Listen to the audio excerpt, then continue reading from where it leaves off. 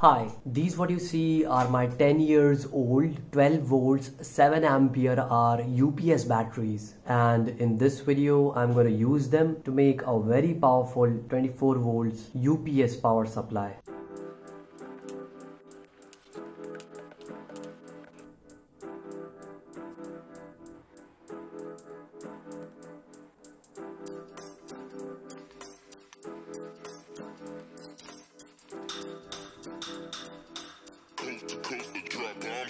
Next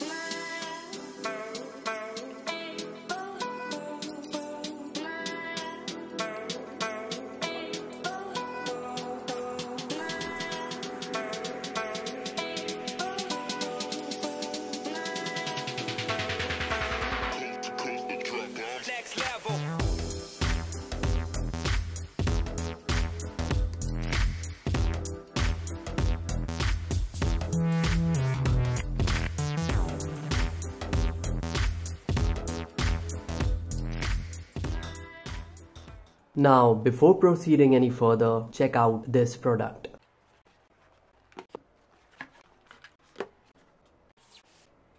It's a smart multifunctional charger with soft start function, USB output to charge mobile phones and it automatically identifies the battery type. And here is the list of compatible batteries.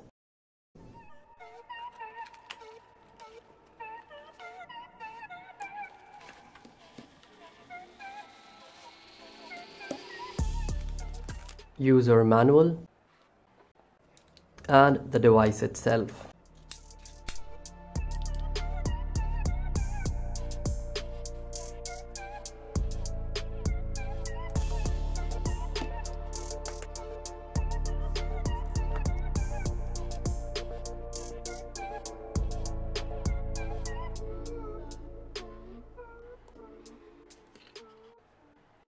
So here I have some lithium ion batteries at 3.7 volts. Let's connect them to our new charger.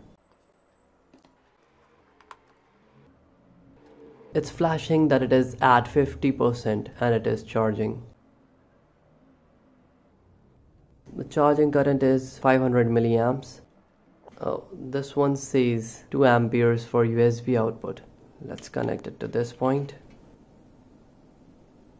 Whoa, you have to hold it for some longer duration. And now it is providing 700 milliamps again. And here we have 1000 milliamperes once again. And that is 2000 milliamperes. Yeah now it is 500 again. Let's connect all the batteries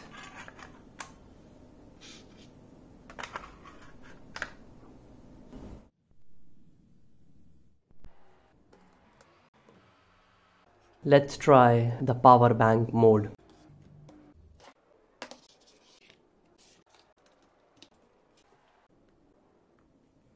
And now it is charging. 80%. So it's a pretty good device. Link to buy it has been provided in the description. Now let's do the voltage check. 12 volts. 10.6 10.3 11.72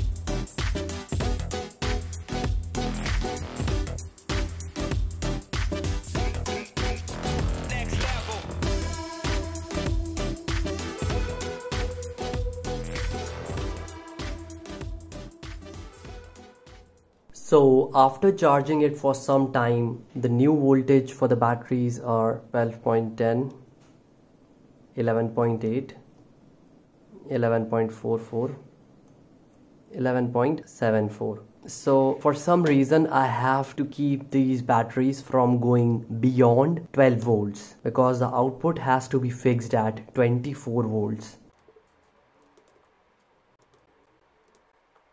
Moving on to the next checking part.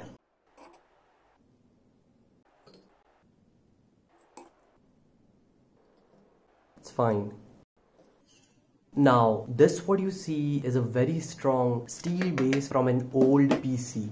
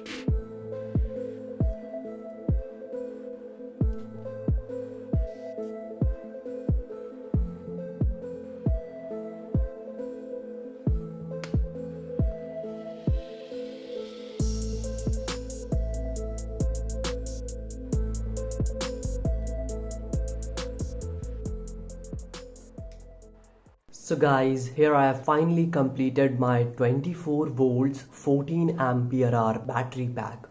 Now I have these two power supplies. One is 18.7 amperes and the other one is 20 amperes and both are 24 volts. Here the label as you can see 24 volts 18.7 ampere 24 volts 20 amperes. So let's use this one.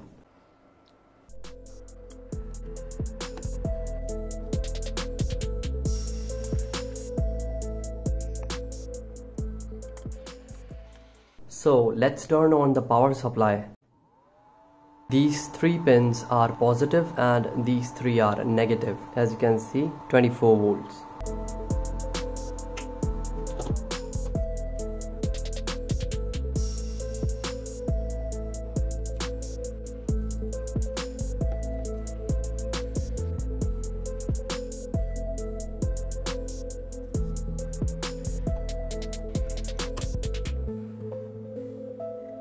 Negative positive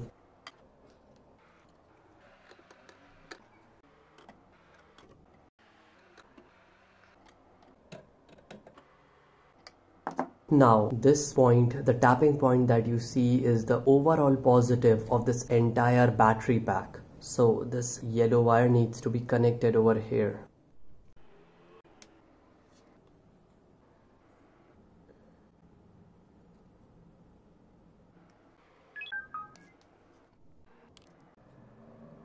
So the positive terminal has been connected successfully. Now comes the negative terminal.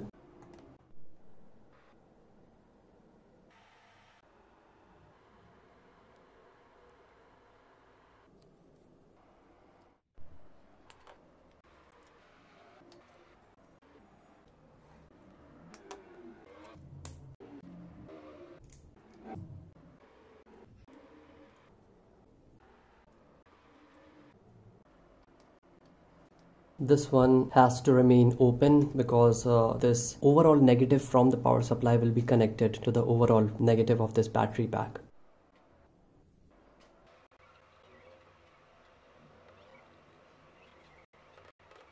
So finally guys the device is fully complete and now it is time to test it which involves this very important device. Here you see two plugs and one output. In the middle is the contactor. Now this plug is 110 or 220 volts home socket supply. The next one is your 220 volts or 110 volts inverter plug and load will be connected to the final output. Let's first connect the home socket mains plug. Now when I turn on the mains board, the contacts are made on the contactor and the bulb lights up. And when I turn off the board, the contactor is released and the bulb turns off. Now let's say that I have an inverter connected to my inverter plug. So turning on the mains and plugging in the other battery terminal. Now let's cut off the mains.